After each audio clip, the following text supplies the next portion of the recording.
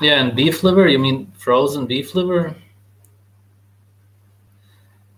Yeah, it's still worth it. It's just if, if you don't have any other choice, absolutely. I, when I was in the US, I also had frozen beef liver. It was just the best that we could get. When there's nothing.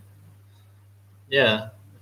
It's always, if there's no other choice, really no other, if you really looked, go for frozen. It's always better than nothing. Yeah. It's it, eating only fresh muscle meat is not better than adding frozen beef liver. Of course, it's better to add it.